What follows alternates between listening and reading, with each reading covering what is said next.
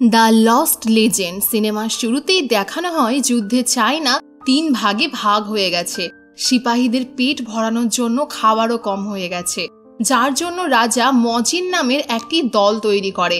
তারা দাফন করা মমির কফিন থেকে সোনা চুরি করে তাদের প্রয়োজন মেটাতে শুরু করে। কিন্তু এই কাজ করার জন্য তাদেরকে একটি বিশেষ রীতি পালন করতে হতো। কফিন খোলার আগে তাদেরকে একটি ক্যান্ডেলকে সব থেকে ছোট কোনায় রেখে অপেক্ষা করতে হতো। যদি ক্যান্ডেল নিভে যায়, তাহলে মজিনদেরকে সেখানেই খাজনা রেখে চলে যেতে হতো। আর তারা যদি এরকমটা না করতো, তাহলে মমির ভেতরে দুষ্ট আত্মারা তাদেরকে জীবিত বাইরে যেতে দিত না। সিনেমার শুরুতেই আমরা হু, শ্যারলি আর ওয়াং নামের তিনজন মজিনকে দেখতে পাই। তারা একটি মমির কফিনে সোনা লুট করতে আসে। কিন্তু ওয়াংয়ের ভুলের কারণে ওই কফিন থেকে তাদের দিকে অনেক তীর ছুটতে লাগে। ওয়াং নিচে পড়তেই যায় তখনই হু ওয়াংকে বাঁচিয়ে নেয়। তারপর যখন হু একটি কফিন খুলে তখন তার ভিতরে একটি সুন্দর মেয়েকে শুয়ে থাকতে দেখে। মেয়েটি বছরের পর বছর কফিনের ভেতর থাকা সত্ত্বেও অবাক করা বিষয় হলো তার মুখ একদম ফ্রেশ থাকে। তখন শার্লি হুকে বলে, ক্যান্ডেল নিভে গেছে, তাড়াতাড়ি এখান থেকে চলো। তখনই সঙ্গে সঙ্গে কফিনটি ভেঙে যায়। হুয়ের কিছু ভিশনের সঙ্গে সঙ্গে এই সিন শিফট হয় কুড়ি বছর পর নিউ ইয়র্কে। ওই দুর্ঘটনার পর শ্যারলির কথা মতো তারা সেই জায়গা ছেড়ে নিউ ইয়র্ক শহরে চলে এসেছে। সেখানে তারা তাদের সঙ্গে নিয়ে আসা কফিনের কিছু ইউনিক জিনিস বিক্রি করার কাজ করে। সেখানে ওয়াং একটি মহিলার সঙ্গে ফ্ল্যাট করার চেষ্টা করে। মেয়েটি যখন তার আইডি কার্ড দেখায়, তখন তারা ভয়ে সেখান থেকে পালিয়ে যায়। তখন ওয়াং হুকে বলে, ওই মোটা মেয়েটা যেমন কালো, তেমনি তার মনটাও কালো। তারা দুজনে পালাচ্ছিল তখনই সেখানে শেরলি এসে গাড়িতে করে তাদেরকে নিয়ে চলে যায়। ওয়াং এভাবে পালিয়ে পালিয়ে নিজের ওপর বিরক্ত হয়ে উঠেছে। সে বলে, আমরা মজিনের নামে কলঙ্ক। এর থেকে আমাদের চায়নাতে থাকাই ভালো ছিল। আর এদিকে শার্লি ও হু তারা নিজেদের মধ্যে কথাবার্তা বলে, কারণ তারা একে অপরকে খুবই ভালোবাসে। কিন্তু তারা কেউ কাউকেই কথা বলতে চায় না। তখন শ্যারলি হুকে বলে, এইভাবে আর কতদিন চলবে? তুমি আমাকে নকল বিয়ে করে নাও, তাহলে তুমি আমেরিকার গ্রিন কার্ড পেয়ে যাবে, আর তুমি সহজেই চাকরিও পেয়ে যাবে। কিন্তু ওয়াং হুকে এরকমটা করতে বারণ করে। সে আরও বলে, এর থেকে তো ভালো আমরা চায়নাতে চলে যাই, আর যদি তুমি এখানেই তোমার সংসার বানিয়ে নাও, তাহলে তো আমরা মজিনের নামে কলঙ্ক। তখন শ্যারলি বলে আমরা একে অপরকে প্রমিস করেছিলাম যে আমরা আর ওই কাজে ফিরে যাব না। তখন ওয়াং বলে, তখন আমরা নেশায় ছিলাম। আমাদের কাছে আমাদের পূর্বপুরুষদের মজিনের লকেট আছে। সেটা কি আমরা ভুলে যাব? তখন হু গলা থেকে লকেটটি খুলে নদীতে ফেলে দিয়ে সেখান থেকে চলে যায়। এর পরের সিনে আমরা জিংকে দেখতে পাই। সে কফিনের টম থেকে পাওয়া জিনিস অনেক দামে বিক্রি করার কাজ করে। তখন তার কাছে ম্যানি কাপানি থেকে এক ব্যক্তি আসে। সে খাজনা নয়, বরং কফিন থেকে বের করা মজিনের খোঁজে আসে। তারা জিংয়ের সাহায্যে একটি টম পর্যন্ত পৌঁছাতে চায়, কারণ তাদের গুরুমা অ্যানশিয়েন্ট কালচারের খুবই সম্মান করে। আর তারা একটি ইগনোস নামের একটি ফুলকে খুঁজছিল, যাতে তারা মৃত মানুষদের জীবিত করতে পারে। ওয়াং প্রথমে খুবই অহংকার দেখায়, আর তাদেরকে বলে, তোমরা নিজেদেরকে কি ভাবো?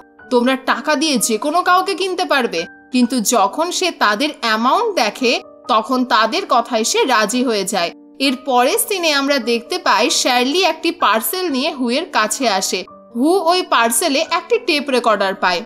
যখন সে টেপ রেকর্ডারটি দেখে, তখন তাতে ওয়াং বলে, আমি ইগনোস ফ্লাওয়ারকে খোঁজার জন্য আবার চায়না চলে এসেছি। সে আরও বলে, হু, তুমি এই ফ্লাওয়ারটিকে চেনো তো? আমি এবার ডিঙের জন্য এসেছি। আর আমি চাই তোমরাও আমার কাছে চলে এসো। তখন শ্যারলি হুকে এরকমটা করতে বারণ করে আর তাকে ডিঙের ব্যাপারে জিজ্ঞেস করে। এরপর আমাদেরকে কুড়ি বছর আগের মঙ্গোলিয়ার সিন দেখানো হয়। সেখানে হু আর ওয়াং কিছু লোকের সঙ্গে একটি হাজার বছর পুরনো দেবীর টম খুঁজতে গিয়েছিল। ডিংও তাদের সঙ্গেই ছিল। ওয়াং ও হু দুজনেই ডিংকে খুবই পছন্দ করত, কিন্তু ডিং শুধু হুকেই পছন্দ করত। এরপরে রাত হওয়ার সঙ্গে সঙ্গে তাদের গাড়ির চাকাও পাংচার হয়ে যায়। তখন তারা তাদের সামনে বিশাল বড় বড় মূর্তি দেখতে পেয়ে তার কাছে যায়। তখনই সেখানে একটি বৃদ্ধ লোক এসে তাদেরকে বলে যে, তোমরা এখান থেকে চলে যাও। না হলে তোমরা সবাই মারা যাবে, কারণ এই জায়গাটা জাদুই শক্তি দেখাশোনা করে।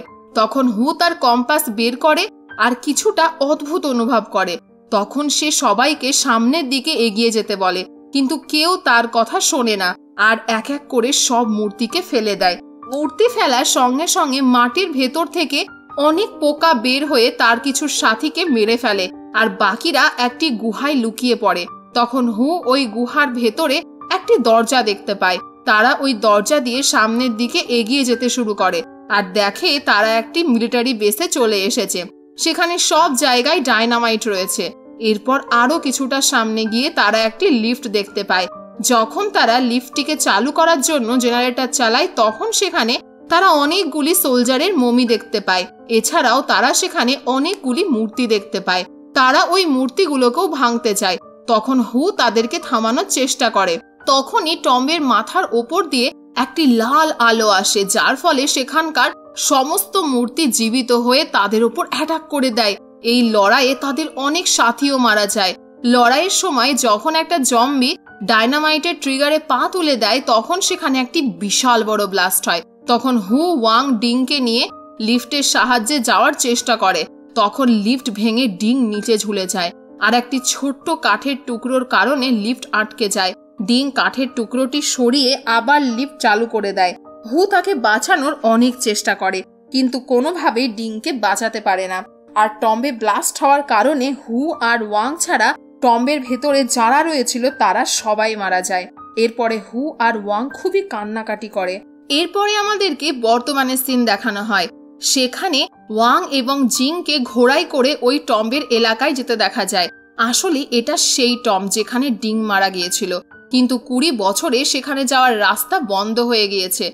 এরপরে তারা দুজন যখন ম্যানি কাপানির প্রেসিডেন্ট ম্যাডাম ইং এর সঙ্গে দেখা করে, তখন ওয়াং বলে, সাধনা করে কোনো লাভ হবে না। তখন তারা দুজনে ম্যাডাম ইং এর আদেশে ডায়নামাইট দিয়ে ব্লাস্ট করে টম খুঁজতে শুরু করে। সেখানে তারা অনেকগুলি ব্লাস্ট করে, কিন্তু টম্বের ব্যাপারে কোনো খোঁজ খবরই পায় না। তখনই একটি সাদা চুলাওয়ালা মেয়ে এসে জিংকে বলে, অনেকক্ষণ হয়ে গেল, কিন্তু এখানে টম্বের কোনো খোঁজই পাওয়া যায়নি। এরা নকল মজিন নয় তো? তখন জিং তাকে বলে, যৌবনকালে চুল সাদা করে নিলেই হয় না। এর মানে এই নয় যে তুমি সবকিছুই বোঝো। এরপরে মেয়েটি জিংকে অ্যাটাক করে দেয়। তারপর ওয়াং এর কিছু পুরনো কথা মনে পড়ে। আর সঙ্গে সঙ্গে তারা টম খুঁজে পায়। শ্যারলি আর হু দুজনে সেখানে পৌঁছেই যাবে ঠিক তখনই গাড়ির ড্রাইভার মাতালের মতো গাড়ি নিয়ে ঘোড়ার সঙ্গে ধাক্কা লাগিয়ে দেয়। তখন হু ওই ঘোড়ার মালিকের কাছ থেকে একটি ঘোড়া নিয়ে সে একাই বেরিয়ে যায়। আর শ্যারলি একটা বাইক নিয়ে তার সঙ্গে সঙ্গে যেতে শুরু করে। তখন হু শ্যারলিকে আসতে বারণ করে। কারণ সে আবার সেই ভুল করতে চায় না। সে প্রথমে একবার ডিংকে হারিয়েছে আর এবার সে শ্যারলিকে হারাতে চায় না। এদিকে ওয়াং এবং ম্যাডাম ইং এর লোকেরা টম পাওয়ার পর তার ভেতর চলে যায়। ভেতরে যাওয়া মাত্রই তারা একটি দরজা খোলে আর সঙ্গে সঙ্গে বিশাল এক জানোয়ারের মতো দেখতে একটি গ্যাস তাদের দিকে ছুটে আসে। এর ফলে তারা সবাই খুবই ভয় পেয়ে যায়। তখন ওয়াং তাদেরকে বলে, হিরোগিরি করে কিচ্ছু হবে না। এখানে ওয়াং নিজেকে খুবই চালাক মনে করছিল। সেখানে সে ঘোড়ার ওপর বসে থাকা একটি গেট কিপারের মমির পাশে একটি ব্যাচ দেখতে পায়। সেটা আসলে ইগনুস ফ্লাওয়ারের কাছে পৌঁছানোর চাবি।